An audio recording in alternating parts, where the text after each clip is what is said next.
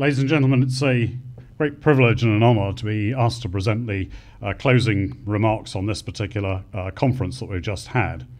As you can see, we were talking about the latest developments in the Eastern Mediterranean uh, over the period in late December 2016. One of the questions that was asked of us during the course of the conference is Are we in an era of change? Well, of course, we've said this I don't know how many times, but actually, probably more telling is the comment actually, we're in a change of era. The whole structure of everything we previously have seen and known is likely to change, and we move into a new era entirely. Next slide, please.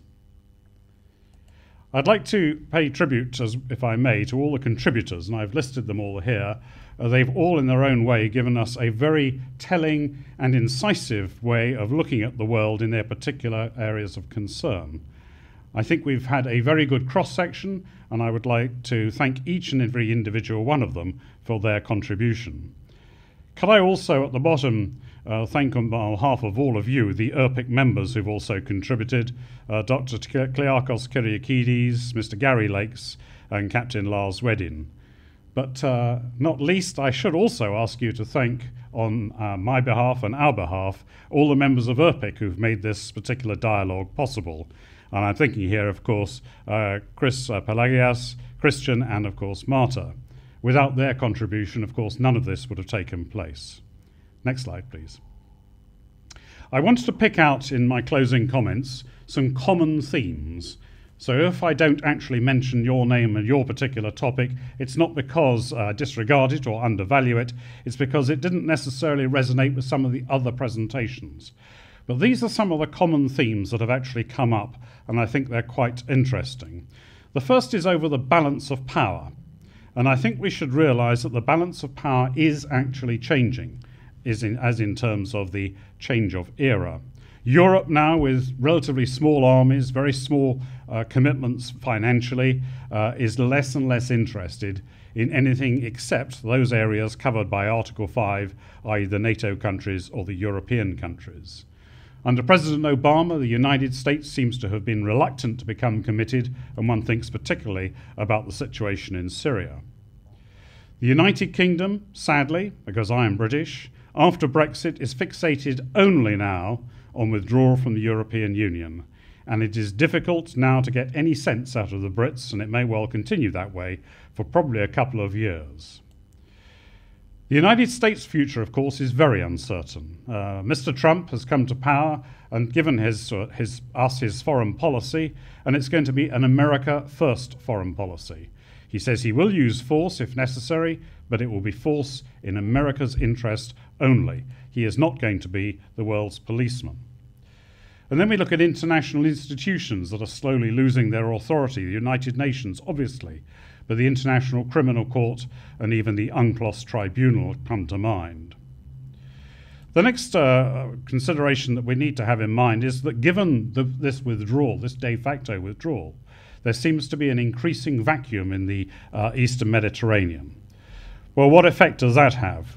Well, as we can see, the old powers that used to be there in large numbers, the British in particular, have withdrawn, and the new old powers are now moving into the vacuum. And one thinks here of Russia reasserting itself, China, surprisingly, looking at its uh, lines of communication to its various economic centres, Turkey, of course, reasserting itself under Erdogan, uh, and of course, we should not forget what is happening uh, in Iran. Next slide, please. So, in pursuit of that, we are seeing an increasing militarization of the eastern Mediterranean, increasing use of air power, for example, by Syria, Russia, United States. We're seeing air power diplomacy as opposed to gunboat diplomacy, with the big nations, the great nations, not prepared to commit themselves with boots on the ground. But there is a problem with all this technological approach, and that is spillover. And one has to ask the question are we empowering the underdog with the proliferation of high technology? But more regionally, of course, we're seeing Saudi, Iran, and Turkey flexing their muscles one by one.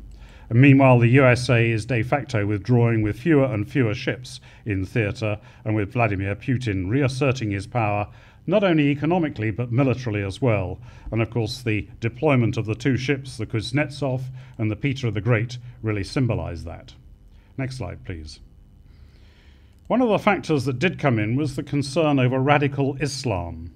And I remind you just uh, some of the tenets of that. It runs along these lines it's monopolistic. Only Islam has the truth, and it has the monopoly of truth. It's absolutist. It's not relative to a particular time. It doesn't refer back to only the time of Muhammad. It endures forever and encompasses all people, and that is universalistic. And I said it applies to every single person on the planet, and who knows, maybe even Mars as well. And what it says is your duty to God is far more important than your duties or rights, uh, duties to anybody else or rights to anybody else. And we see this manifest in all the organizations I've list- listed there. ISIS, of course, uh, operating now in the western part of Iraq, across into Syria, and now, just recently, one hopes, thrown out of Libya. Al Qaeda, course, we've seen what's happened there. Hezbollah, Hezbollah now operating in Lebanon and becoming almost a surrogate of Iran. The Muslim Brotherhood, hitherto very powerful in Egypt, but now dispossessed, now turfed out, uh, and replaced by a more secular organization. Meanwhile, we have the Salafis, who are hardline uh, Muslims, and of course, Hamas, uh, who are in Palestine. Next slide, please. So there's a conflict then between loyalty to the state or tribe, and especially a problem with what we've seen as artificial states across the whole, whole area. Let me just uh, remind you that Islam has always felt in the light of the Arab Israeli wars and various other political settlements, that Islam itself has become somewhat undermined, if not degraded. Well, after pan Arabism tended to lose its particular validity, Islamism has replaced it, and that is seen as a model to regain honour and to reject any sort of idea of fast Western modernization. But it does mean that those that subscribe to pan Islamism are, of course, very susceptible to manipulation by religious and other authorities. Next slide, please. Which brings us then on to Iran. Well, as many commentators have said, Iran effectively is an Islamist superpower. Its main aim is to protect Muslims across the world, and as the, as, uh, the Iranians have said, the United States is a setting sun, and the rising sun is Iran. But we need to think that one year after the nuclear deal, really nothing has changed for Iran in either goals or indeed in their behavior. We have ignored Iran's strategy and ambitions at our peril. All Iran has done is postponed one weapon in their armory, and they've postponed it just for a number of years. So while they are sacrificing their nuclear gains, they are gaining economic and political aspirations and if at the end of the time of the treaty they decide to produce nuclear weapons, well, of course, that will be very dangerous because it is likely to lead to continuous uh, proliferation across the uh, era, across the area. Next slide, please. So nothing has changed in Iran's goals or indeed its behavior, and we, at, a, at our peril, have ignored the strategy and ambitions. We haven't controlled either the long range missiles and Iran has recently fired quite a few of these to demonstrate its capability. Sadly, by having the nuclear deal, it's legitimized the regime in Tehran, and although the Ayatollahs are causing a considerable amount of grief elsewhere in the world, to some extent they now have legitimacy across the world. And this has been highlighted by the fact that Russia, who also seeks Iranian support for its activities in the Caucasus, has been selling some $10 billion worth of armaments to uh, Iran, including upgrades to their fighters, upgrades to their bombers, and perhaps equally as, pe- as pressing or telling, the S 300 surface to air missile, which will enable them to area deny uh, across the whole of the eastern part of the Persian Gulf. So, what it suggested is we need now to have a proper coercive policy in order to influence Iran in the future. It needs to include both hard and soft power, including sanctions, and it needs also now not to just involve the old P5 plus one, it needs to bring in local powers, and it suggested Saudi Arabia and Egypt, etc., may be invited to join. Next slide, please. Meanwhile, Iran, of course, is pursuing its political aims right across the piece. Lebanon is now a close ally with Hezbollah, which is a proxy of Iran, controlling virtually everything that goes on.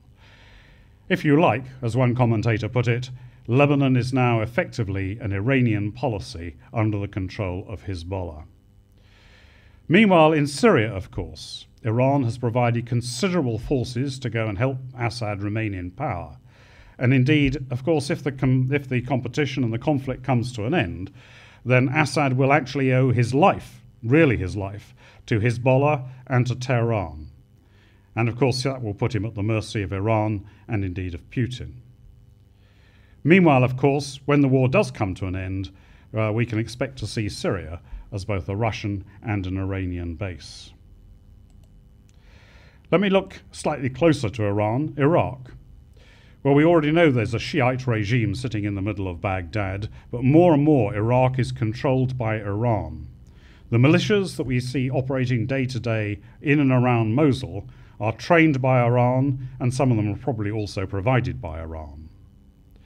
Of course, Iran has another angle that it is keen to do, and that is the bottom point on this slide.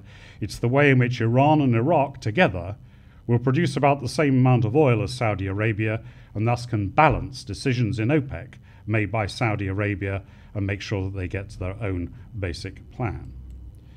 Well, let me turn now to Turkey. Next slide, please.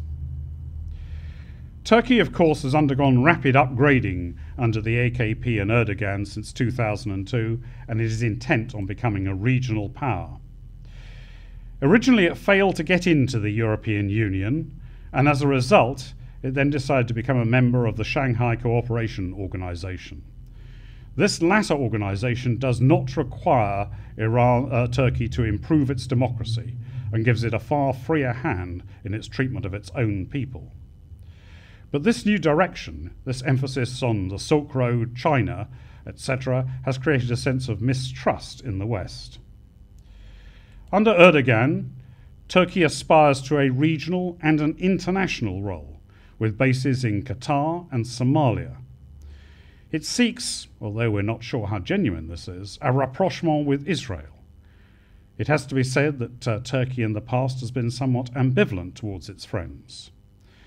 Indeed, Turkey has been seen in the very recent past using migrants in order to exert pressure on Western powers and to gain control of their attitudes.